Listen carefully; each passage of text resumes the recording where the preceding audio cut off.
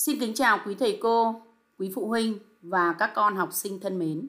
Hôm nay chúng mình học toán lớp 3 mới, sách kết nối tri thức với cuộc sống. Bài 3, tìm thành phần chưa biết trong phép cộng, phép trừ. Trang 11 đến trang 13.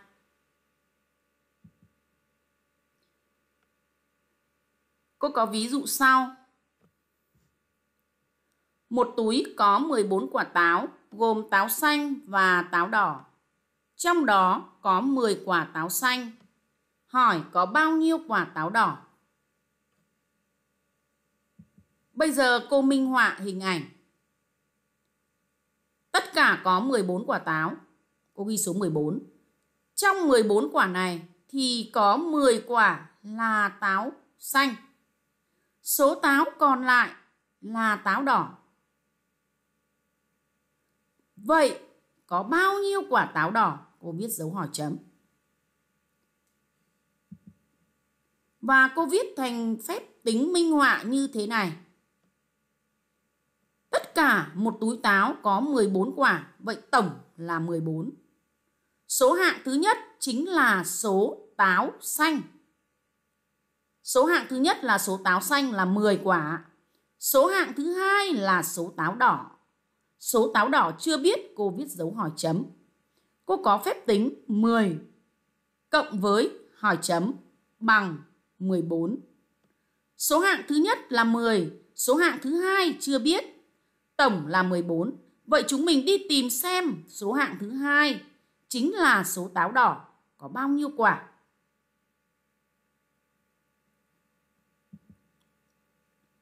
Muốn tính số táo đỏ ta làm thế nào? À, số táo đỏ bằng tổng số táo trừ đi số táo xanh. Chúng mình sẽ lấy tổng. Muốn tìm một số hạng ta lấy tổng trừ đi số hạng đã biết đúng không? Ta lấy tổng là 14 trừ đi số táo xanh là là 10. Đúng không? Vậy số táo đỏ là 14 trừ 10 bằng 4 quả.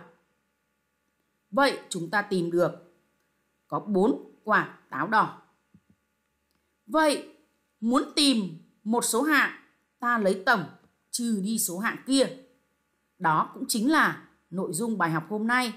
Tìm số hạng trong một tổng. Đó là kiến thức mà các con phải ghi nhớ để chúng mình vận dụng vào làm bài tập. Vậy, muốn tìm số hạng chưa biết trong một tổng, chúng mình làm thế nào?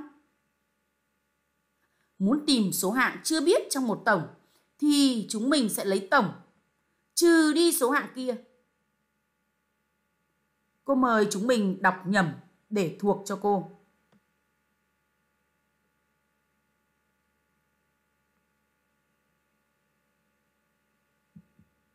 Bài 1. Tìm số hạng theo mẫu. Số hạng thứ nhất chưa biết cộng 10 bằng 26. Muốn tìm số hạng thứ nhất chưa biết, chúng mình lấy tổng trừ đi số hạng kia, tức là số hạng thứ hai. Vậy tổng là 26 trừ 10 thì bằng 16. Đúng không nào? Vậy ta lấy 26 trừ 10 thì bằng 16.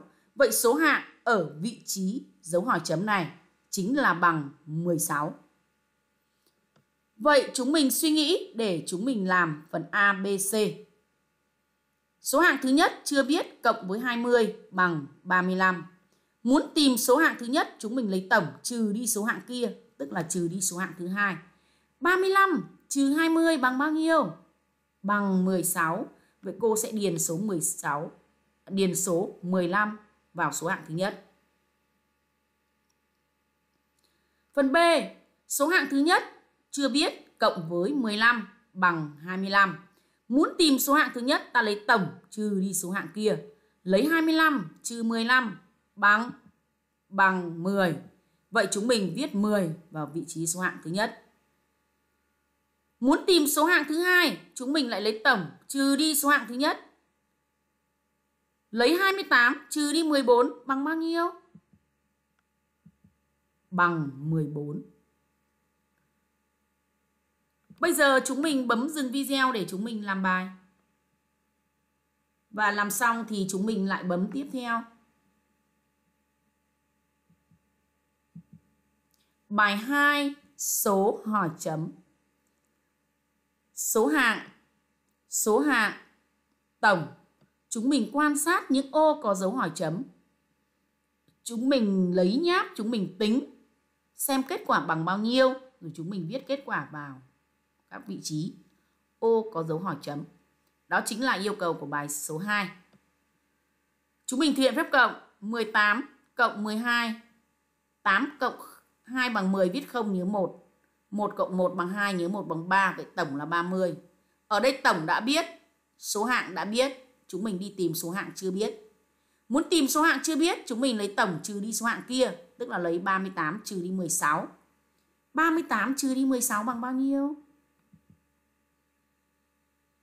À bằng 22 Cột tiếp theo tổng là 54, số hạng là 21. Số hạng thứ hai chưa biết. Muốn tìm số hạng ta lấy tổng trừ đi số hạng kia, tức là lấy 54 trừ đi 21. 54 trừ đi 21 bằng bao nhiêu? Bằng 33. Tiếp theo chúng mình đi tìm số hạng chưa biết, chúng mình lấy tổng trừ đi số hạng kia, tức là lấy 40 trừ đi 18 bằng 22. Ở đây số hạng chưa biết, Chúng mình đi tìm bằng cách lấy tổng trừ đi số hạng kia, tức là lấy 170 trừ đi 60 bằng 110. Đó. Muốn tìm số hạng chưa biết, mình lấy tổng trừ đi số hạng đã biết. Bài 3, hai bến đò có tất cả 65 thuyền để chở khách đi tham quan. Trong đó bến thứ nhất có 40 thuyền, hỏi bến thứ hai có bao nhiêu thuyền chúng mình quan sát tranh minh họa dựa vào những điều bài toán cho biết chúng mình dễ dàng thực hiện được câu trả lời đúng không? Chúng mình bỏ chữ hỏi đi thay chữ bao nhiêu bằng chữ số thay dấu hỏi chấm bằng chữ là và dấu hai chấm. Vậy câu trả lời sẽ là bến thứ hai có số thuyền là. Chúng mình thực hiện phép tính gì? À, chúng mình thực hiện phép tính trừ. Hai bến đò có tất cả 65 thuyền, tức là tổng là 65. Bến thứ nhất có 40, tức là số hạng thứ nhất là 40. Bến thứ hai chưa biết, vậy đi tìm số hạng thứ hai. Ta lấy tổng trừ đi số hạng kia, tức là lấy 65 trừ đi 40, đúng không nào? Chúng mình thực hiện phép trừ.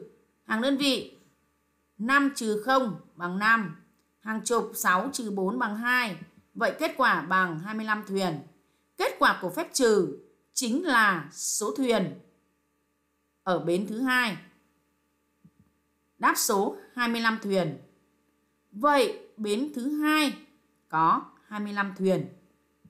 Bây giờ chúng mình bấm dừng video để chúng mình làm bài vào vở ô ly. Bài 2 chúng mình có thể làm vào sách, bài 3 chúng mình làm vào vở ô ly. Làm xong thì chúng mình lại bấm tiếp theo.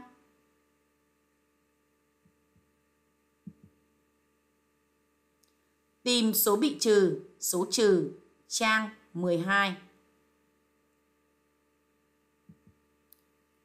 Phần A. Tìm số bị trừ. Việt có một số viên bi, Việt đã cho bạn 5 viên, còn lại 3 viên bi. Hỏi lúc đầu Việt có bao nhiêu viên bi? Chúng mình quan sát hình ảnh minh họa. Việt có số viên bi? Chưa biết.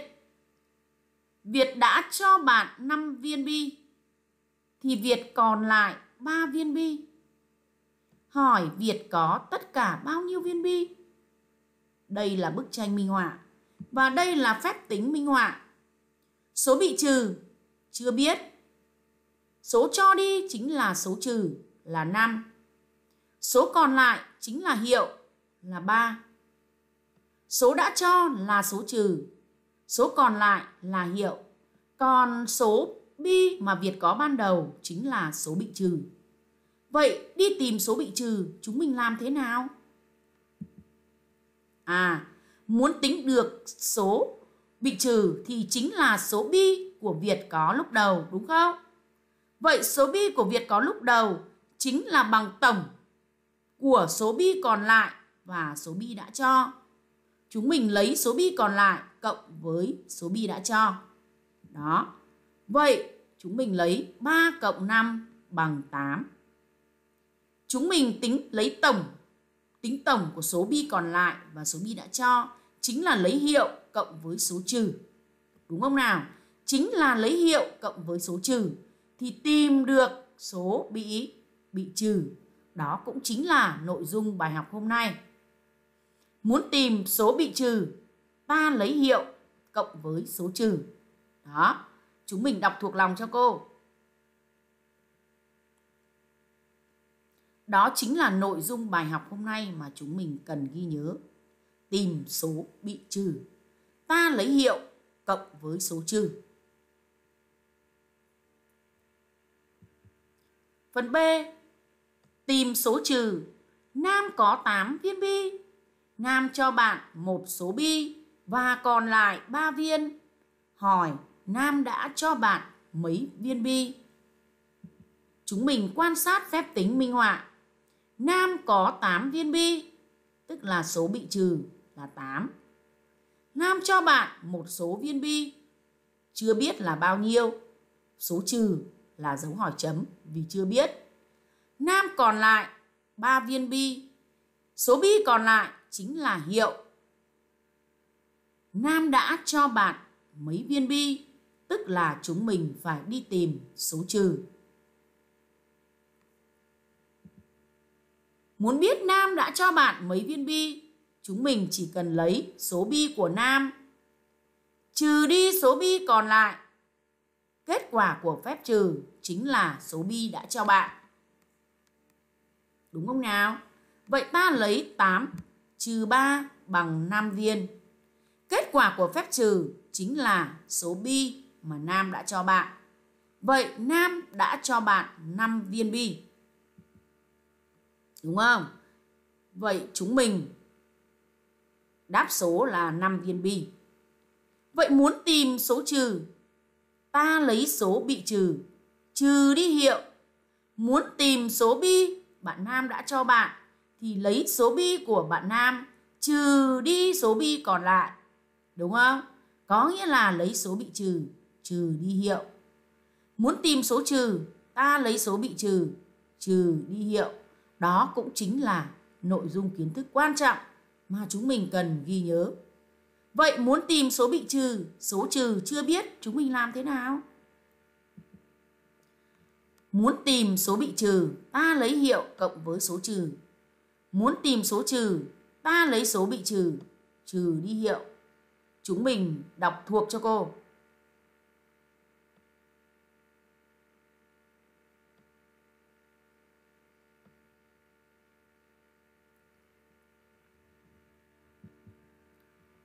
Bây giờ chúng mình thực hiện thực hành làm bài tập bài 1 phần A và phần B. Bây giờ chúng mình quan sát bài mẫu để chúng mình tìm số bị trừ. Mẫu số bị trừ chưa biết, trừ 10 bằng 3. Muốn tìm số bị trừ, ta lấy hiệu cộng với số trừ, tức là ta lấy 30 cộng 10 bằng 40. Vậy số bị trừ là 40. Bây giờ chúng mình thực hiện đi tìm số bị trừ. Ta lấy hiệu cộng với số trừ ta lấy 40 cộng 20 bằng 60.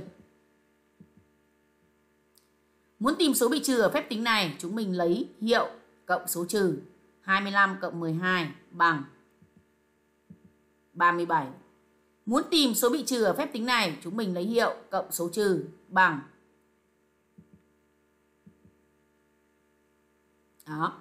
Muốn tìm số bị trừ, ta lấy hiệu cộng với số trừ kết quả bằng số bị trừ. Phần B tìm số trừ theo mẫu. 30 trừ mấy để bằng 20. Muốn tìm số trừ, ta lấy số bị trừ, trừ đi hiệu. Lấy 30 trừ 10. 30 trừ 20 bằng 10.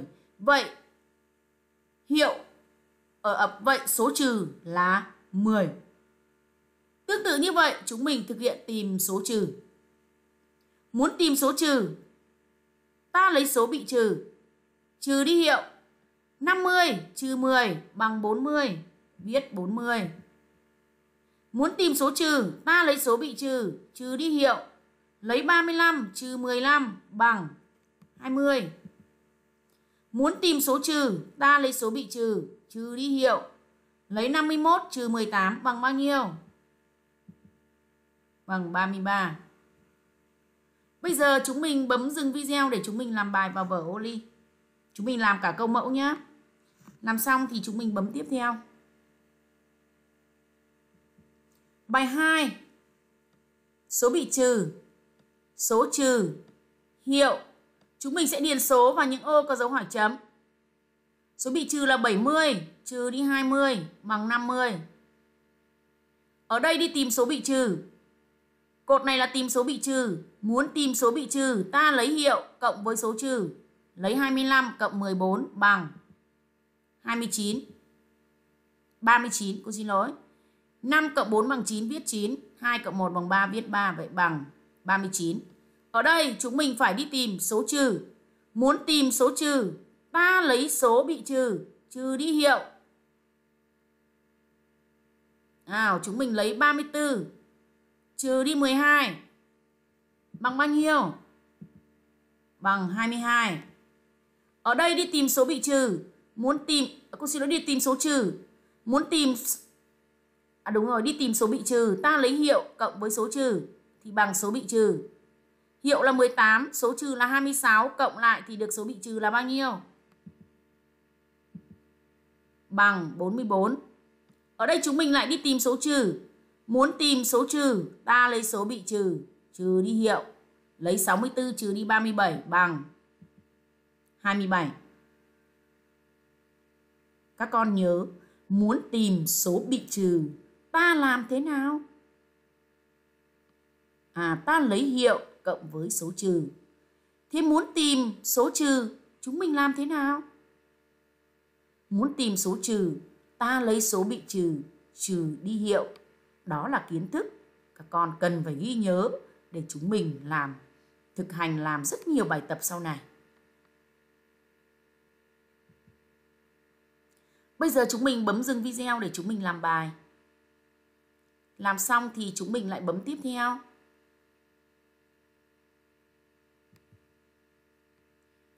Cô mời chúng mình chuyển sang phần luyện tập trang 13. Bài 1 chọn câu trả lời đúng. A, B. Chúng mình suy nghĩ để chọn câu trả lời đúng nào. Chúng mình lấy nháp để tính nào. Biết số trừ là 36. Đúng không? Hiệu là 25. Vậy số bị trừ là bao nhiêu? Chúng mình lấy hiệu cộng với số trừ thì bằng số bị trừ. Vậy hiệu vậy số bị trừ là 61. Chúng mình khoanh vào đáp án C. Tương tự câu B. Biết số bị trừ là 52. Số trừ chưa biết, hiệu là 28. Muốn tìm số trừ, ta lấy số bị trừ, trừ đi hiệu. 52 trừ 28 bằng bao nhiêu? bằng 24. Vậy C là đáp án đúng.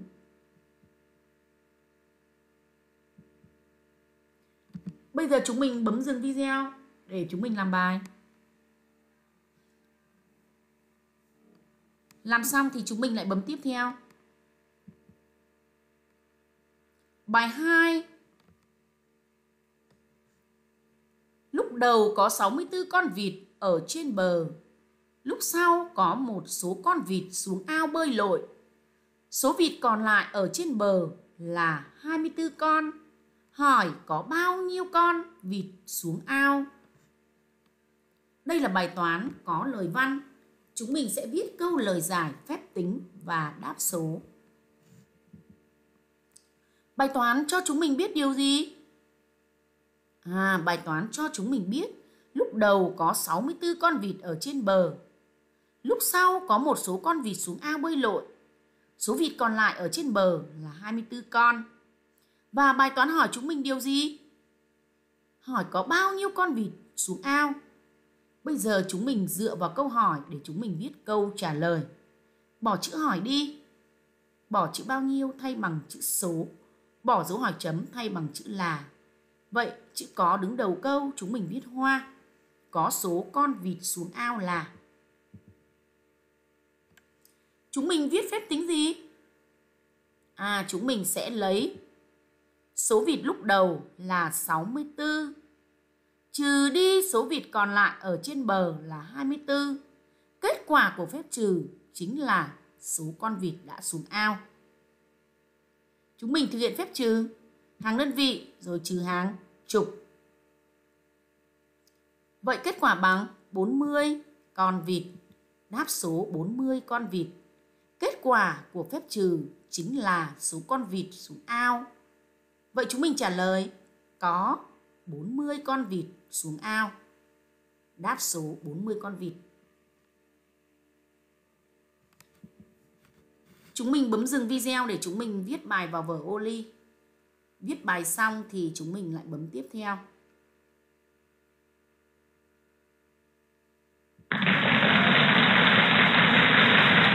Bài học của chúng mình đến đây là hết rồi. Các bạn hãy bấm like và nút đăng ký kênh để ủng hộ kênh của cô Lan, để nhận được thêm nhiều video nữa của cô Lan. Các bạn bấm vào đường link ở dưới phần mô tả để xem bộ video toán lớp 3 mới đầy đủ. Hoặc các bạn có thể bấm vào danh sách phát của trang YouTube cô Lan Hải Bối. Chọn bộ video mà chúng mình muốn xem. Xin chào và hẹn gặp lại.